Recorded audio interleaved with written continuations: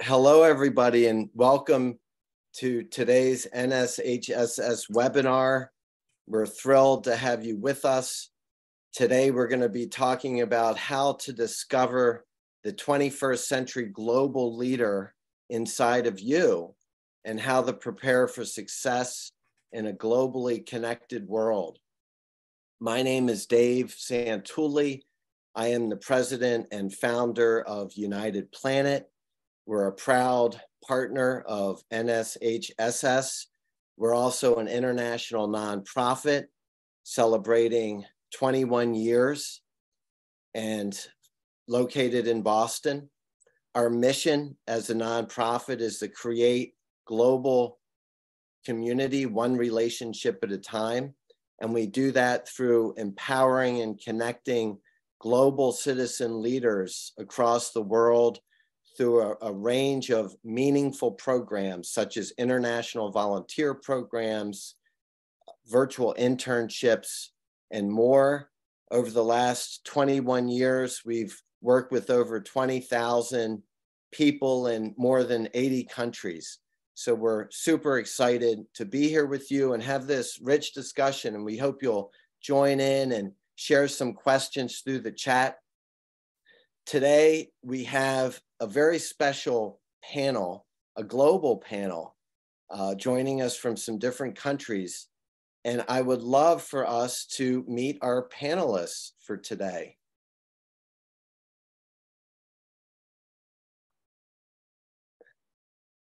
There we go.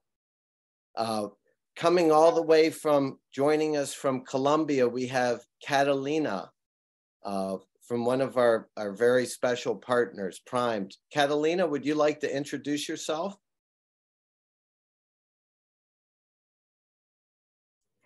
Of course. Good evening, everyone. Uh, my name is Catalina Chavarria. Uh, I'm located in Medellin, Colombia. I'm the representative of a nonprofit organization. The name is Prime Community. We want to create a global community with opportunities for everyone, but I'm going to tell you more uh, in a bit. Awesome. Thank you so much, Catalina. We're thrilled to have you with us. And Caitlin, love to have you introduce yourself. Hi, everyone. My name is Caitlin. I, uh, in high school, I did two United Planet programs. I did a virtual quest in Amman, Jordan, and a traveling quest in Quito, Ecuador. And I'll explain more later. Can't wait to hear more about it and Kelly joining us from Honduras. Hi, thank you, Dave. Um, I'm one of the international program coordinators, and I'm excited to tell you a little bit about traveling through United Planet. Fantastic. And Sophia joining from Guatemala. Hi, everyone. Welcome once again to our webinar. I'm so glad to share with you more about United Planet. I'm International Program Coordinator, and I'm going to share more about Virtual Quest. Thank you so much. And uh, last but not least, coming all the way from the, the Netherlands, but, but here in Boston with us, we have Lika. Hello, everyone. Um, Dave did an incredible introduction already, but um, I'm a marketing communications intern. Um, and today I will just keep an eye on the chat. I will send you guys some questions for you to answer. Um, and yeah, I hope we have a good dialogue today. That sounds great. That sounds great. Well, let's let's move forward here and talk about we're talking about unlocking your potential and discovering the 21st century leader, global leader inside of you. But what does that really mean? What is a, a 21st century global leader? And at United Planet, we have some thoughts around that theme that uh, 21st century global leaders have what we call United Planet competencies, that they are global citizens and we say that global citizens are clued in, they connect to their local community and global community. They lead within teams and beyond teams. They understand within a global context and a cross cultural context. They engage, they're active citizens, they get involved, they try to make a difference. uh, on important issues that they care about. And they're concerned about developing themselves. And I know all of the members here are very concerned about that from a self development perspective, from an academic and professional perspective. They think about what skills and competencies they'd like to develop in the future and that these 21st century global leaders strive to build true partnership, to build trust, respect, understanding, and empathy across their communities and across the world. Because at the end of the day, without partnership and collaboration, cooperation, it's very hard to achieve our fullest potential in today's world. So, very important uh, to build partnership. And then also to develop 21st century skills, learning how to communicate and collaborate, to be problem solvers and critical thinkers and creative thinkers, to have that entrepreneurial mindset and innovative thinking, to know where we need to get information and how to get information through information and media literacy, to have some of those critical uh, technology skills. Um, and also to have those those life skills to be proactive uh, and and really assertive in in trying to see, achieve some of the goals that we have. So these are some of the competencies that we look at. And why is that important? Why do we need that in today's world? Uh, if feel free to put put some answers in the chat if if you feel so inspired. But you know they say that that more changes happen within the last 100 years than the last 10,000 years and the rate of change is hard to keep up with. And, and i'm sure we all feel it every day. Um, and we know that it, the rate of change and advancement is, is increasing. The world is more connected than ever. So the age old way of education of rote memorization memorizing these lists, bring them into school, isn't going to prepare the leaders that we need in the world so that we can embrace the challenges that we face, all of the United Nations Sustainable Development Goals in areas like education, health, environmental sustainability, equity, economic development, peace and security. There's no way we can tackle those goals if we don't have a, a, a this kind of pers perspective and these kind of competencies. So we're super excited. Now, how do we develop these goals?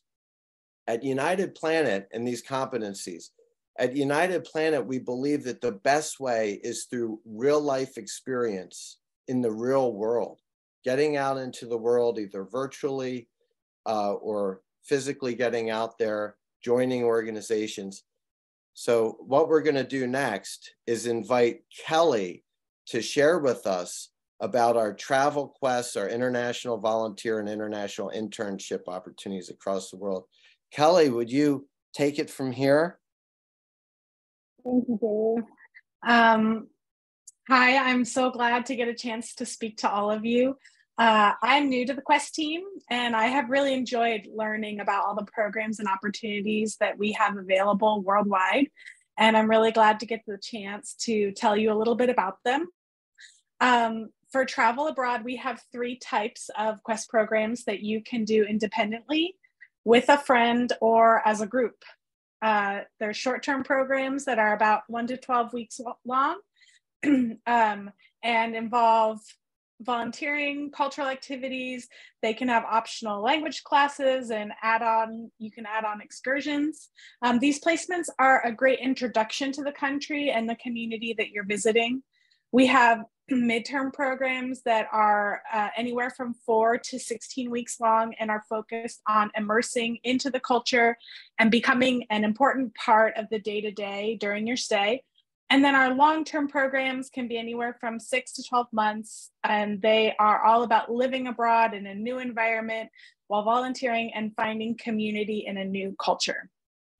All of our programs accept volunteers that are aged 18 and older, um, but I know that we have probably a lot of high school students participating today in the webinar. So we do have three destinations that will accept volunteers who are um, age 15, 16, 17, and then 18 and up. Um, those destinations are Peru, South Africa, and Japan. We would recommend Peru, particularly for volunteers who are looking to learn about global health. Um, there are, uh, but there's also projects related to children, education, animals. You could help the medical staff by working at the intake or triage desk and practice your leadership skills by conducting educational workshops on preventative medicine. Um, maybe you can develop your collaboration skills at one of the two animal sanctuaries, rehabilita rehabilitating wildlife. Um, in South Africa, uh, that's a great destination for sports lovers. Uh, who want to learn about using sports and youth development programs. This is a great way to strengthen your social skills. You, uh, they have programs around soccer, cricket, field hockey, tennis, rugby, and netball. And there's also projects related to children and education, uh, working in children's homes or local schools. In Japan, there are projects related to environmental sustainability, children, education, and the arts. Maybe you want to work two weeks at the tea plantation learning about sustainable agriculture, and then you could exercise your creativity and learn about bonsai trees in an artisan workshop.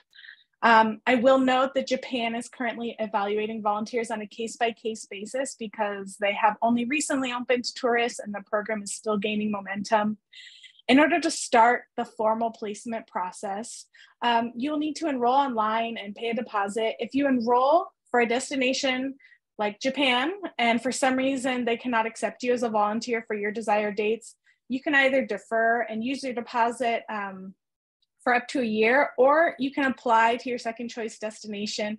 We typically can place you in the destination you want for the dates you want, but uh, we are working with real NGOs that are in the field, and there are many factors that can affect program availability.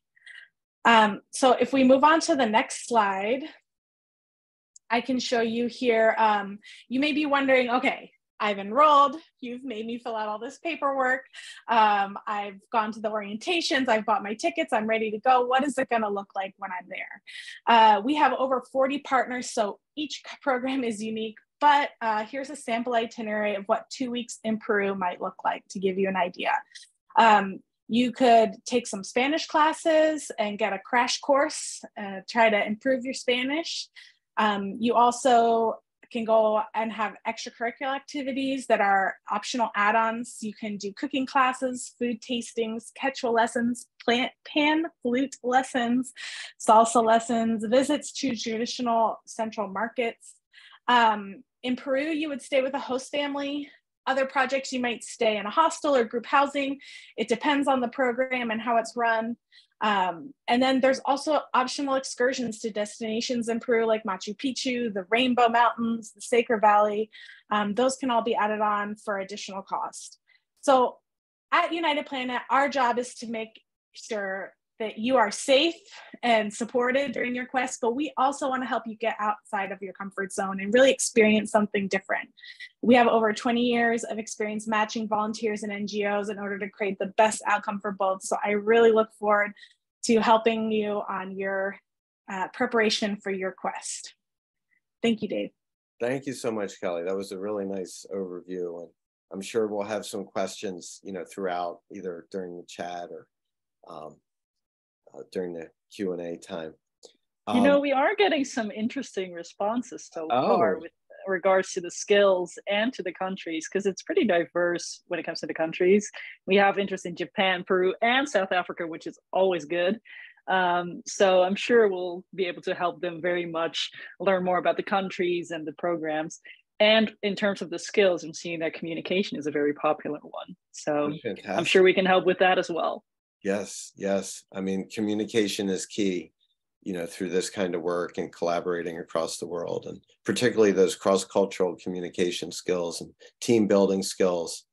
They're essential in anything that we need to do, you know, in our lives. Um, thank you so much, Lika. Um, look forward to having the discussion around some of those questions and comments. Um, Sophia, uh, you've been really taking a lead within the team on our virtual internships and virtual volunteering. We'd love to hear a little bit more about um, our virtual quests. Thank you, Dave. Hi, guys. So I answered a question asking if we have virtual opportunities, and I said yes. And right now is the time to share more. So it's a little bit different for travel, but it still is a very great opportunity to develop skills. The minimum time for virtual quest is one month and the maximum is six months. Uh, it's very flexible. You can choose less than 10 hours per week or the maximum 40 hours um, per week. We have, or I bring two great programs that we have in the virtual. The first one is in Ghana. They work with a special organization uh, to dedicate to breathing and bring more opportunities and best future for kids that grow up in um, disadvantaged communities. So this it's a great program because they have children and education and global health. Sometimes they combine these two fields. So for example, maybe you can work with them creating uh, material for health. Malaria, it's a very common disease there. So you can create some infographics, research information, or also translate some education so that um, work, it could be, like I said before, infographic or maybe PowerPoint, you can share with the teachers so the teacher can use frequently with the kids. So you not only combine two fields, you also develop new skills like creativity, also communication, researching, translation. I know some people fear or feel very nervous when you talk about and with other countries that English is a second language, but that it's a very great experience to know more about cultural and language. So that is the first example. And the second is in Costa Rica, that is in Latin America. And that program helps and gives support to oncological patients. As you know, in Latin America, health is a little lack. And for some people, it's very hard to get uh, a good hospital for cancer treatment. So this organization works in prevention, which is great. So as well, you have to do research, translation, and a specific type of cancer so they can blog in or put in in social media. This year, we have two volunteers that work, help them in fundraise. It's amazing how they can give ideas, uh, also create uh, GoFundMe page so they can start to fundraise money. So again, you combine two fields, education and health. And also you development, not only creativity, only, uh, sorry, creativity and smart ways to fundraise money and support.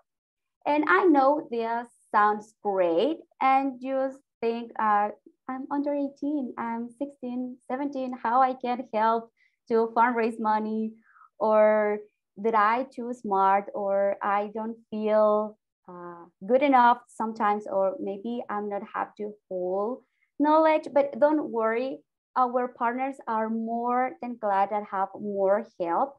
And the idea is that that you can start learn and support. So that's the reason that I'm gonna say this uh, quick that we bring Catalina. She is our partner with Virtual Quest and she works with a lot of under 18 volunteers. So she can explain you more. And the idea is you can feel comfortable and secure to do Virtual Quest. And I think the Virtual Quest is a great start for you to have this volunteer experience and then you can go and travel like Caitlin.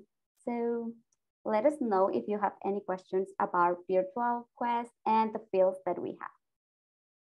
absolutely. It's, it's a wonderful way to have a meaningful, you know, virtual internship make a difference, you know, have a global experience. And we're so glad to have uh, Catalina here with us uh, from uh, Colombia, from Prime Community that share about the great work that you're doing. Uh, and we look forward to hearing from you. Thank you, Catalina. Okay, hi, and thanks for your invitation. Uh, as I told you before, my name is Catalina. I'm a social entrepreneur. I'm located in the city of Medellin in Colombia. And I'm going to talk about, and, and I'm going to talk about a, a, little bit about Prime Community is the organization I represent at this moment. We are a global community uh, with opportunities for everyone. We want to build this community. So next slide, please. Okay, uh, who are we? we are an organization that is oriented towards the development and execution of social impact projects, mainly here in Medellin, but we want to expand to other parts of Colombia. We offer free English classes uh, focused on community tourism and life skills development in vulnerable neighborhoods. Okay, next slide. Okay, we offer opportunities uh, through English and tourism. The name of our main project is The Storytellers. So basically, as I told you before, we teach English and life skills. So the idea is that the people connect their personal and community stories to design immersive tours. So you can see here a lot of creativity with this kind of uh, things, with this kind of services cultural exchange events as well for foreigners and create local initiatives. The idea is to connect the tourists with the stories of those territories and share their incredible social transformation processes. Next slide, please. Okay, so we have this main project, but we also have projects in alliance with other nonprofits, local nonprofits. We require the volunteer support in the following areas. Okay, first of all, uh, we work with allies that they have obviously different departments and uh, the volunteers help us with different kind of tasks for those departments. So for example, education and opportunity for vulnerable youth, we have projects related to vocational orientation. And uh, we want we support them as well building their own uh, life plans right? We have as well children protection in which we restore the rights of children who have suffered uh, any kind of violence. So we work with this nonprofit, this kind of nonprofits as well. Okay, and we have management uh, areas. We have management projects, digital marketing and fundraising campaigns, as Sophia was telling before. So yeah, I'm going to tell you a little bit more about it. Next slide, please. So to tell you more about the main functions the volunteer can support us, uh, support us with, it could be the translations. For us, that is very important, from Spanish to English. So for example, in this case, we need the volunteers to have a, eh, an intermediate level of Spanish. Uh, we also have social media management. We uh, sometimes need uh, the support with the communications plan. Graphic designs as well with basic tools or programs mentoring to support school students. It could be in languages or uh, maths, internet research, and fundraising campaigns. So the volunteer qualities that we hope the volunteer have has uh, are like to be creative, to be proactive, responsible, very important, to be committed and reliable, empathetic as well, flexible, uh, patient, and charitable. So next one. And I'm going to resume the next one because I think there is a lot of text, but I'm going to resume. Okay, the skills volunteers might learn uh, supporting us, it could be to be more empathetic because you're going to connect with the histories and backgrounds of our beneficiaries, uh, such as children and youth. Uh, you are going to develop creativity and design skills because we need some graphics for our social networks, brochures, and portfolios so for, uh, for us, this is very important because you are going to see that we are using your designs in our commercialization area, right? Okay, to learn about branding as well, to learn as well how to use fundraising platforms. not just to do it. You are going to teach you how to do it, okay?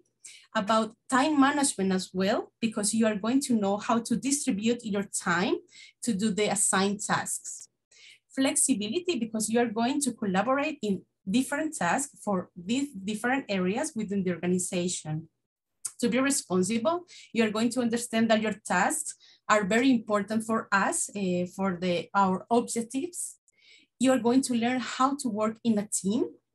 And you, uh, I always say to the volunteers that you are part of the team, right? So you're going to know that the impact of uh, your capabilities and skills uh, have for us because we need that we need that uh, for the proper operation of our projects you're going to learn about communication skills because you're going to present your progress to people in management positions and you're going to practice as well some Spanish if you want to and to be more agile in doing some research. So yeah, thank you. And I think that's all.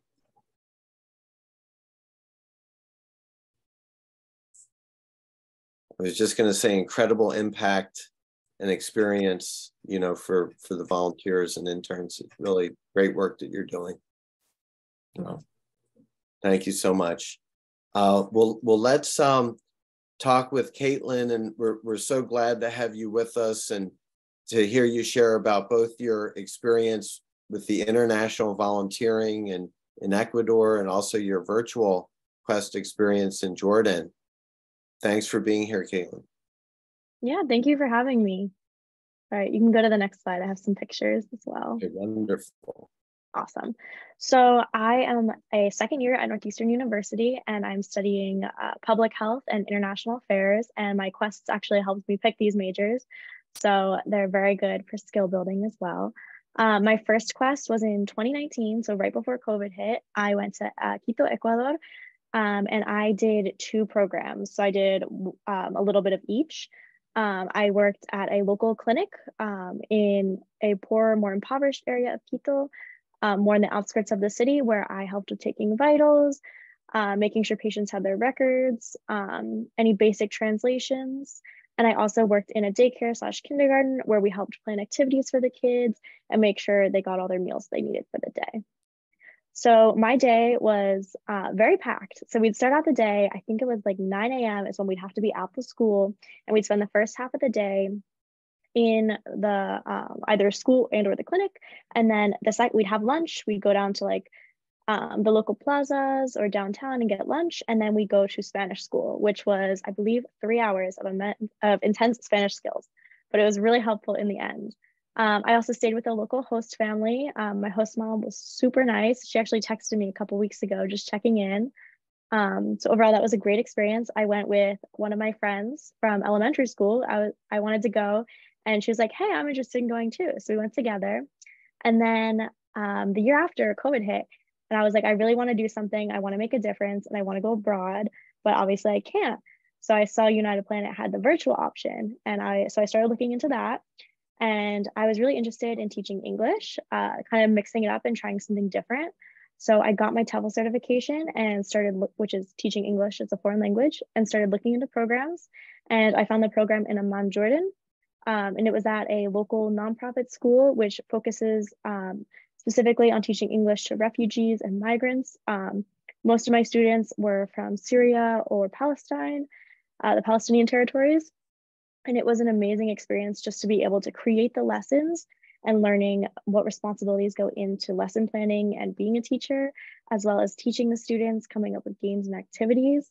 And it was a real learning curve at first, learning what the students like, their language skills, but overall it was an amazing experience. Um, so yeah, so I have some pictures here. Um, on the left, this is a picture of me this summer. I actually went to visit them because I was doing a study abroad for my university in Amman, Jordan. So I was able to visit them. So it was awesome. And then the other three pictures are of me when I was in Ecuador. The upper right is of me with my host mom and my friend who went with me. And the bottom right is me at the clinic as well. And if you guys have any questions, you can put them in the chat and I'll answer. That that's amazing. And I was just wondering when you decided to do the study abroad, you know, what in in Amman, uh, what was that process like? And I wonder if the internship had anything to do with it. Yeah, so the internships kind of inspired me to go and do study abroads. I actually studied abroad in five countries so far in my undergrad.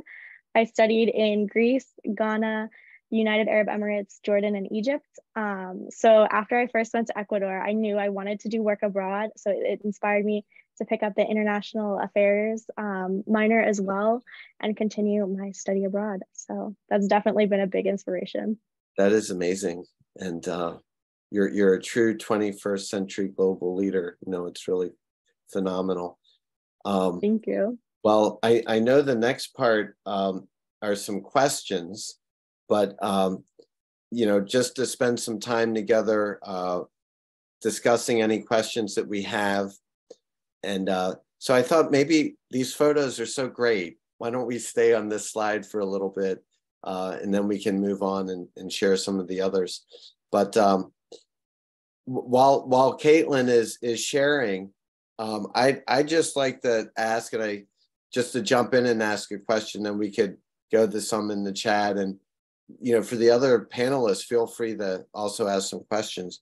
But what was your you know biggest challenge um, entering either the the virtual uh, or the internship, and you know the the the, the travel quest or the the virtual quest any challenges and um, you know how do you see each kind of helping you in the future yeah so there were definitely a lot of challenges um, for the spanish one so i'd taken or the Quito one i'd taken spanish in high school but this was my first real immersion spanish experience so i was a little nervous of how my spanish skills were going to be uh, I know I had to take a placement test to get um, to like get my level for the Spanish classes, but I was really nervous. I knew my host mom didn't speak any English whatsoever, so I knew I'd be spending my entire trip in Spanish.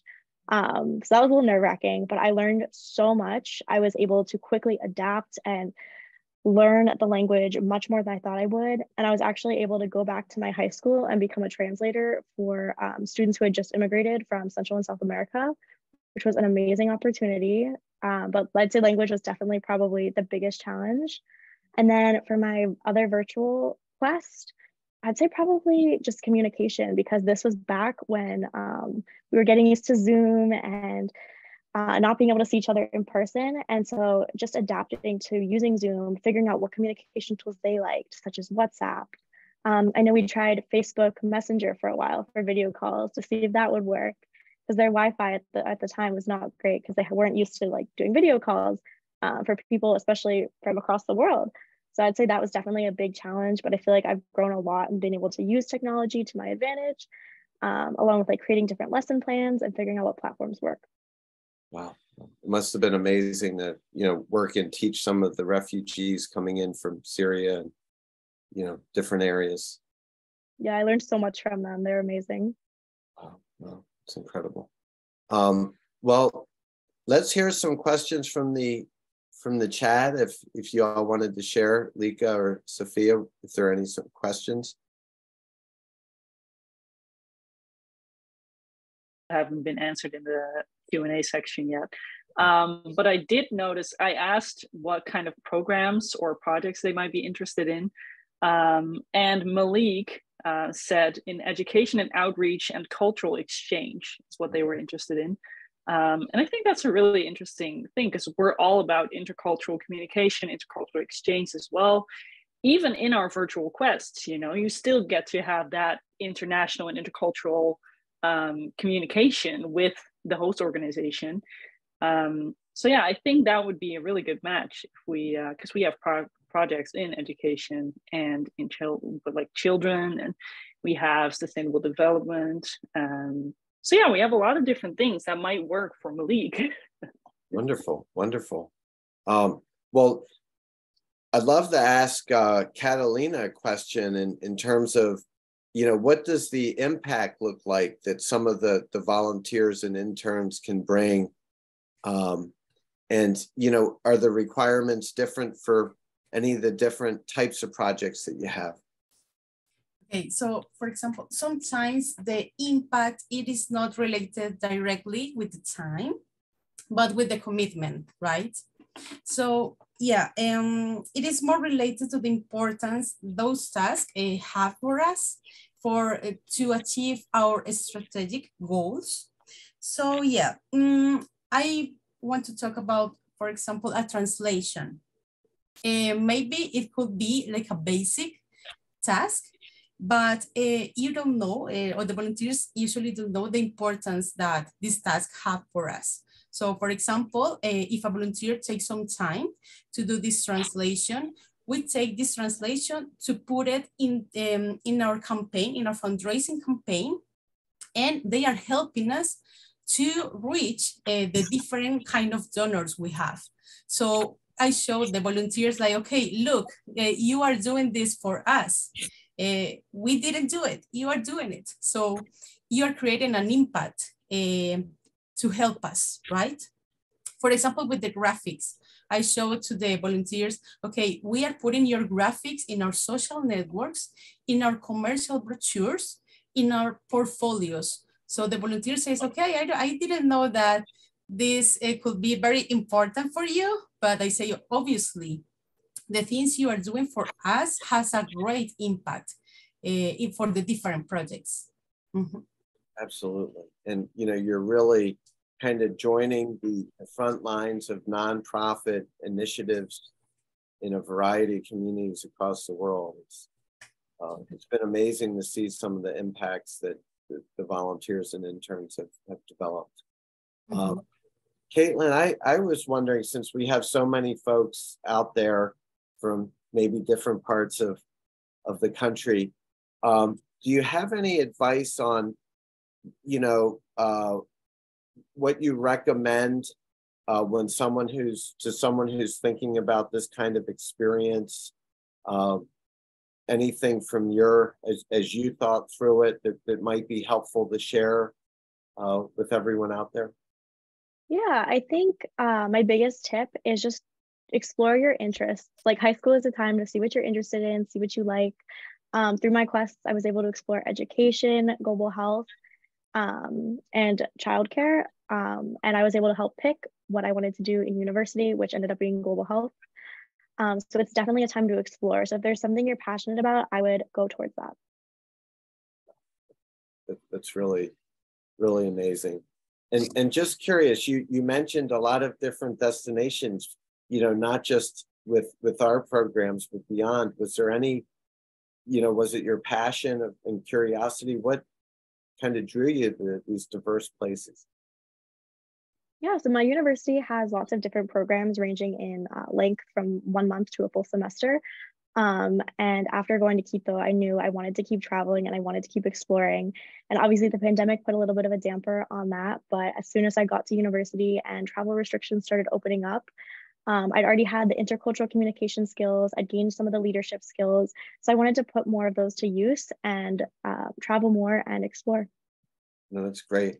And anything else, just kind of comparing and contrasting the in-person travel experience with the virtual experience. I know you touched on it a bit, but you know, you've had both of those and you have such a unique perspective.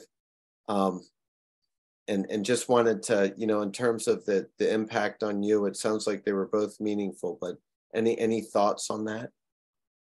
Yeah i'd say one of the biggest misconceptions is that you can't make as big of an impact virtually and i would say this is definitely not true. I feel like i was able to make an impact on each and every student i interacted with uh, virtually in Amman um, so i feel like that's one of the biggest misconceptions. Um, and the programs are just so different. I, another big difference is just being in the country and being able to explore on your own. But as for volunteer wise, you're able to make the same impact. You're able to still make the same connections with people and gain the same skills. It's wonderful. Still build some of those those wonderful relationships uh, with people. Well, let's shift over to Catalina and you know we know there are different types of projects that you have. Some working directly uh, with children at projects and some kind of supporting the organizations. Um, what are the kind of minimum hours per week and some of the logistical things that someone thinking about a virtual internship or virtual volunteer experience might need to know?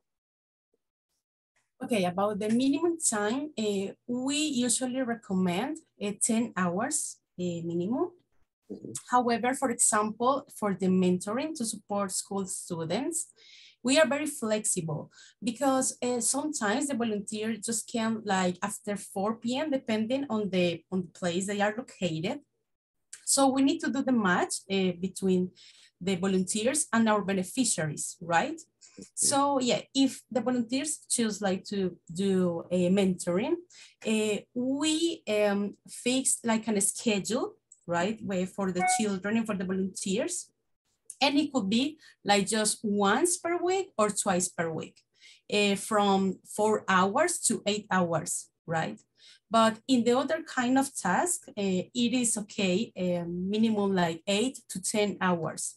Uh, with this kind, with this time, with this duration, it could have uh, like a big impact uh, and big results. Uh, as I told you before, it is not like uh, not too much related with the time, but with the commitment. Okay.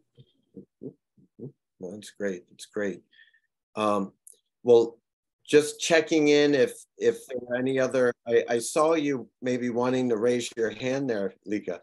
Yeah, I've got I've got two questions uh, from the chat. The first Wonderful. one is how we guarantee the safety of the participants while they're abroad. Mm-hmm. mm-hmm. Would one of our panelists like to take it? I'm I'm always happy to jump in, but go ahead, Kelly or Sophia, if you wanted to. Yeah, I could talk a little bit about that. so, um, you will receive an orientation before you travel where we have our safety tips and guidelines. Um, also, though, we are working with partners that we've generated a relationship with. Um, these aren't people that that we barely know. Um, some of our other team, I'm newer, so I haven't traveled, but some of our team have traveled to these uh, destinations. I know Dave has personally um, really fostered these partnerships um, and they've been going on for years so these are places that we really trust and we're constantly evaluating the programs obviously for safety we follow all of the state department guidelines um, but I think it's really our reputation and the reputation of the partners that we work with that helps ensure your safety. Um, the biggest concerns that we have about safety are actions of the volunteers typically. So maybe, you know, we advise during the orientations like how to avoid accidents, um, how to avoid sickness from certain foods, or or it's you know how to avoid any reckless behavior that might put you in danger. But as far as um, your experience that you're having, um, we do everything we can to ensure your safety and your safekeeping. Yes, yes, and you know we're we're really fortunate to have country coordinators in our different countries and partners who, as Kelly mentioned, we work with for many years. For example, Pablo in, in Ecuador, we've been working together for over 15 years. Um, and we also have developed uh, safety and risk management protocols.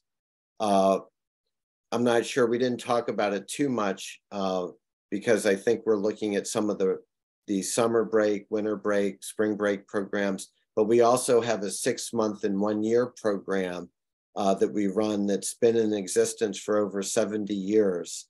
Um, and we're, we're part of a group of organizations that uh, runs this program. And there, there are a lot of uh, safety and risk uh, management discussions that we have. So that's really a top priority for us, uh, the number one priority. And um, we, we really care about it a lot. Um, Lika, was there another question or were both the questions kind of related to that? Okay, um, go ahead. Um, another one is, um, is it recommended to go to countries where you have more knowledge of the language? And to what extent would a foreign language course be required? Mm -hmm. I can answer that question because it's very frequently.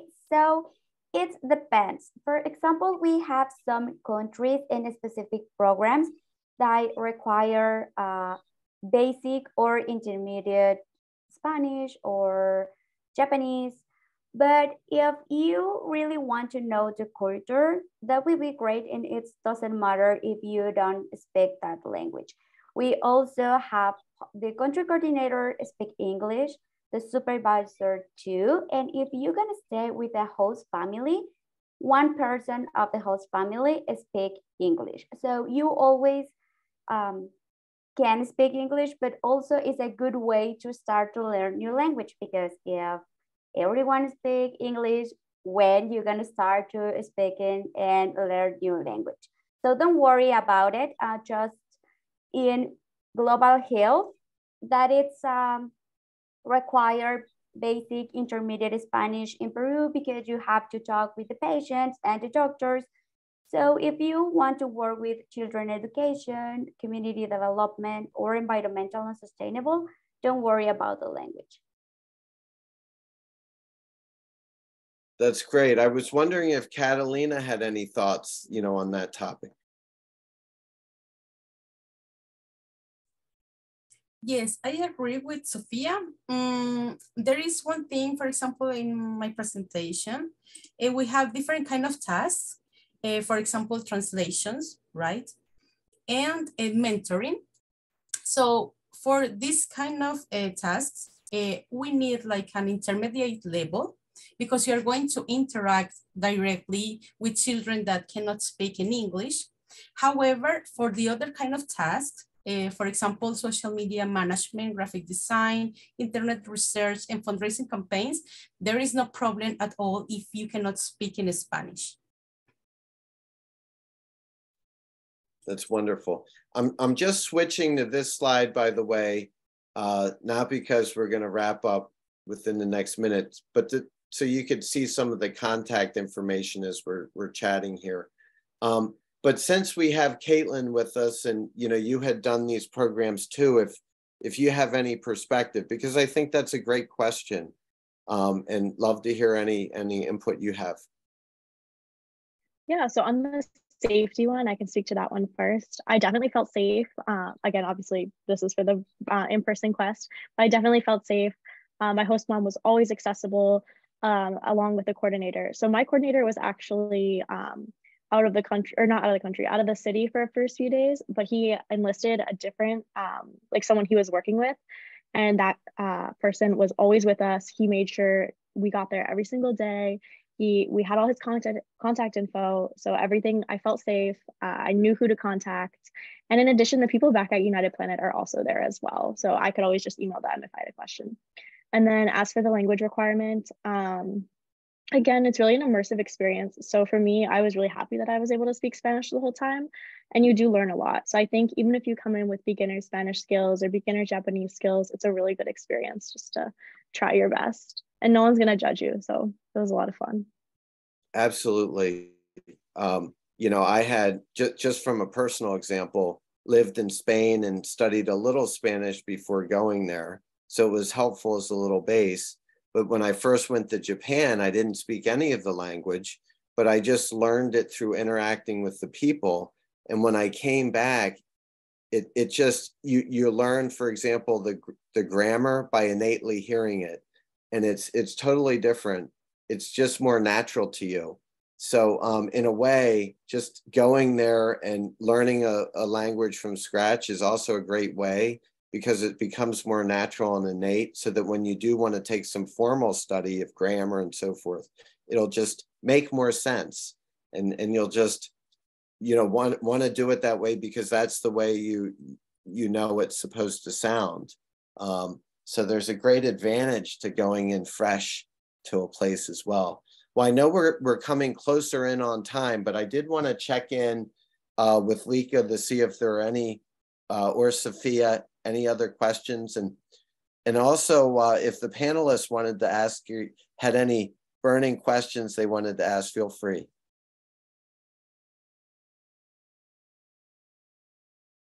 That popped up in the Q and A. So there's no unanswered questions there, and neither is there in the chat.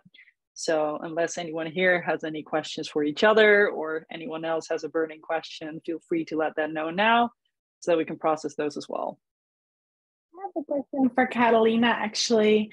Um, Sophia and I are working on some presentations on tips for volunteers as they're coming into sometimes that third week of virtual volunteering, and maybe they feel like they now understand how to complete the tasks, but they'd like to go a little deeper and understand more about the project or more about the country, Colombia. Um, do you have any tips or are there anything that a volunteer has done that's really um, allowed you to kind of give them a deeper experience beyond just doing tests? Have they participated in other virtual events or anything like that? Yes, uh, for example, uh, when the volunteer starts like doing this uh, virtual experience, at the beginning, we try to them to connect with the things we do, with the essence of our organizations, our organizations and our allies. So we talk about how, uh, sorry, who are we, uh, what do we do, uh, like for them to, to know in a deeper way and to connect with our beneficiaries. So the idea, for example, I told you about these storytellers.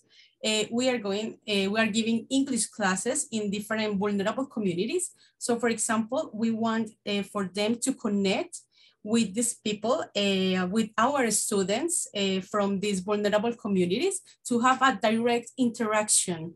Uh, for example, just to practice, to help them practice English, right? Basics English, basic English or intermediate English. So yes, we want to connect with the direct beneficiary, beneficiary, right?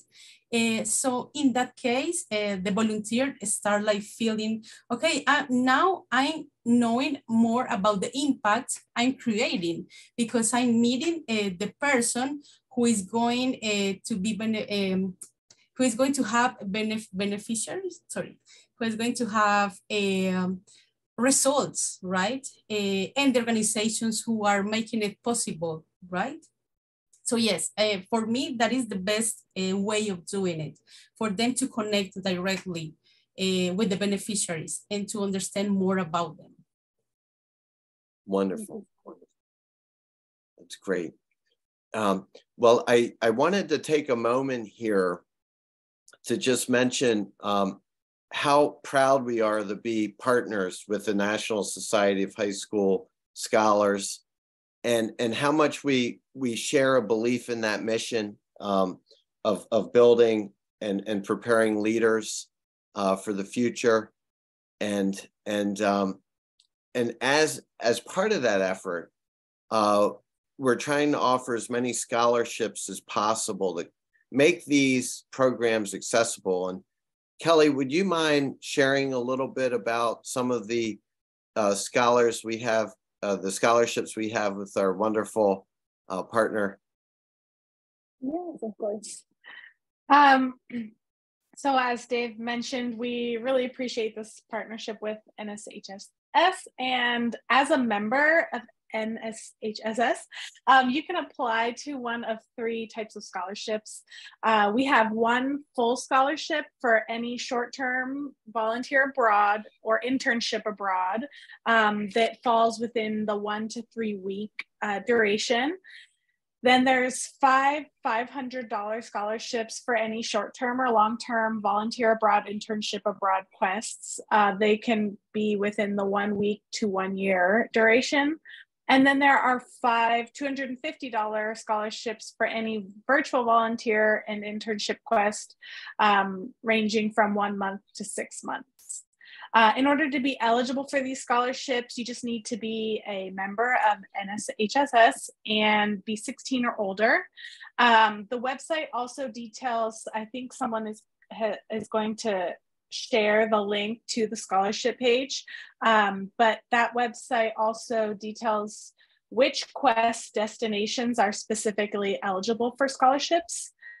And then the requirements of the applicants are to um, submit a prompt response of 500 words to the following question How will your experience living and serving abroad in a different culture inspire and enrich your academic and professional pursuits as an NSHSS scholar. Describe in detail. Then you'll also include a color headshot, academic resume, a current transcript, uh, an educator recommendation, and parent approval prior to applying. Um, you must be departing for your quest between April 15th, 2023 and December 31st, 2023 in order to apply applications already opened. They opened on November 9th, and the closing date is March 15th. if uh, for some reason you do not receive a scholarship or you are unable to apply, we still want to reward NSHSS members and offer a 10% discount off of United Planet short-term programs um, and internship, uh, short-term volunteer and internship abroad programs that are year-round. 10% off of virtual volunteer intern and internship programs year round, and 5% off of United Planet's long term quest so when I say year round, I mean like on a rolling basis. The year long program actually has a 5% discount. Um, and uh, those discounts can't be combined with scholarships, but we just want to know you to know that we appreciate you and we appreciate this partnership. So um, we're happy to continue working with you and seeing how we can get you to connect with one of these experiences that we have available. Absolutely. And we just want to encourage you to keep developing on your leadership journeys uh, and, and contribute what you can and learn what you can. Um, as you know, we're a nonprofit. We're here to, to serve you, and, and together we, we look forward to serving communities across the world and, and building bridges uh, of partnership and friendship across the world. So we're, we're very grateful that you joined us today, and I'm really grateful to our panelists as well. Um, Catalina and Caitlin and of course Kelly and, and Sophia and Lika and and and our, our partner NSHSS. Uh, we, we really enjoy our partnership and we're big fans of the work that you, the very important work that you do. Um, so please reach out. We're here for you. We want to work together um, as, as a global community and uh, keep up all the, the hard work and wonderful work that you do. Thank you so much have a great rest of your your night and, and day. Thank you, everyone. Thank you. Thank you.